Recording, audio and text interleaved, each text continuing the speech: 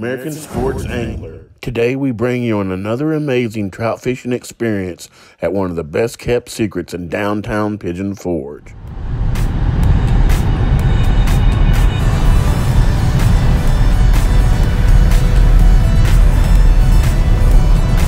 Here we are, downtown Pigeon Forge, heading toward the O Mill. And remember, here you only have to have your uh, fishing license and trout stamp. You don't have to have a day permit in Pigeon Forge because this is not Gatlinburg. Um, so let's see how we do, guys. Thanks for coming along. God bless. Today, we're going on one of the hottest, most highly visited vacation spots in North America. Over 10 million people visit this area every year for vacationing and outdoor recreation, including trout fishing. And today, we're going to show you one of the best fishing holes in East Tennessee, downtown at the Old Mill District behind the Old Mill Restaurant. The state stocks these streams from Patriot Park to the end of Pigeon Forge. Come with us to one of the best kept secrets in downtown Pigeon Forge. Here we are at the old mill in uh, Pigeon Forge. And remember, uh, here you don't have to have a day permit. You just have your fishing license and your trout stamp. And you're good to go because this is the Pigeon Forge, not Gatlinburg or the Smoky Mountain Park. So uh, just keep that in mind.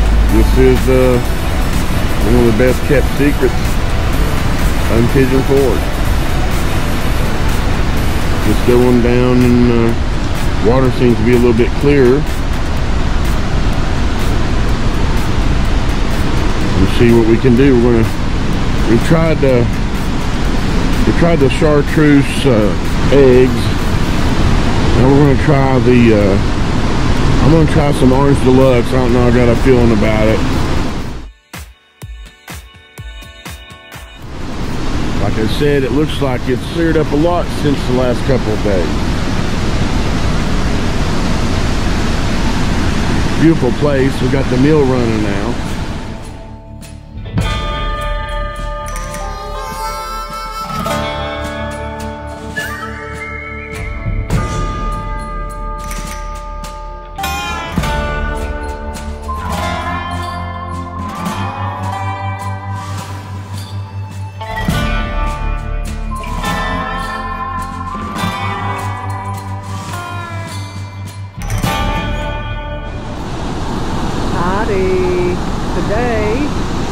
We're watching John cast out at the Old Mill Restaurant. A great little fishing area.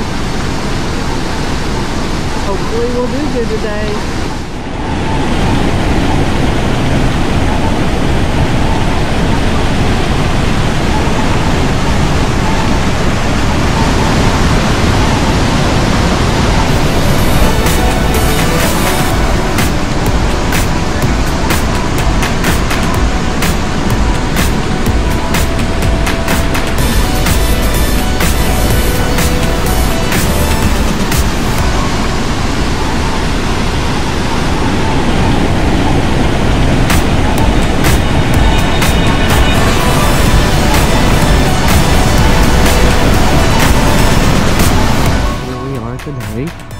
Staying in Pigeon Forge at the Riverside Tower.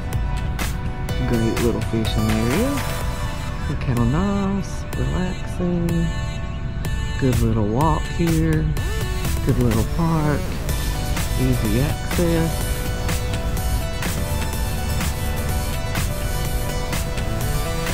Well suited. Put your lawn chairs out. Sit on the rock great little fishing area. Today, John's using Pautzkes, chartreuse garlic, and yellow corn. Stay tuned.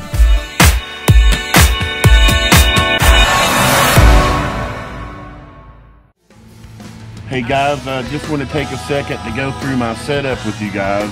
I'm using six pound test and I'm using a size eight salmon egg hook. Okay, that's really good and nice for uh, nice size for uh, for trout fishing. Don't want to go too big like you're you're not bass fishing or anything. You need a small hook for those guys. Mostly we're catch and release, so uh, we want to hook them in the mouth and uh, be able to release them so they can somebody else can catch them and they can live healthy and grow bigger. Okay, I'm using six pound test, uh, and I'm using a little split shot just right below my indicator. Okay, that keeps it straight up. And then on down here, just maybe three or four inches from my hook, I've got another split shot so we can get those eggs down where the trout are. Okay, most of them, they won't feed off the bottom, but they're down at the bottom.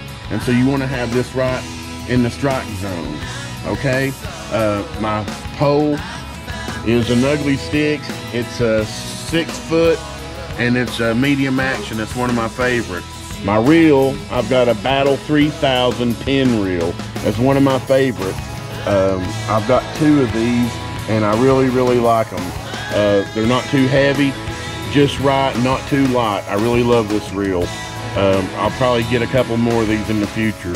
So there you go. It's a pretty basic setup for trout fishing. Um, my other uh, Penn reel, I have set up a Carolina rig, and we'll go back over exactly what a Carolina rig is and how to rig it.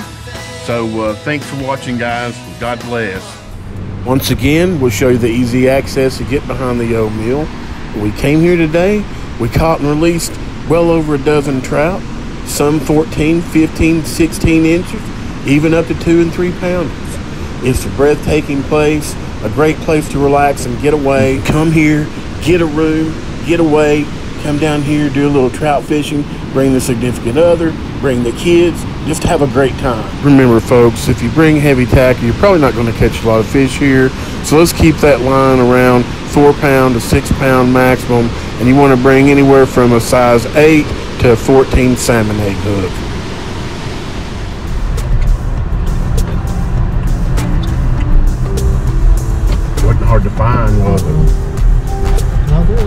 To do if it was pretty and you could come here and stay and stay and you could fish and I could walk to some stores and have dinner. There's the Titanic.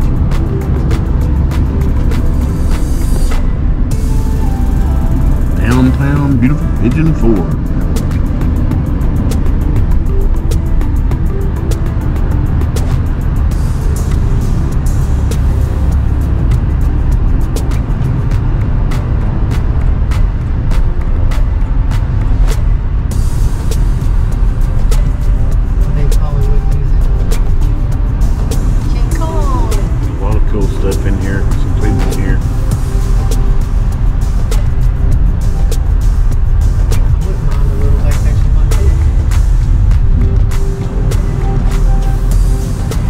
Forge.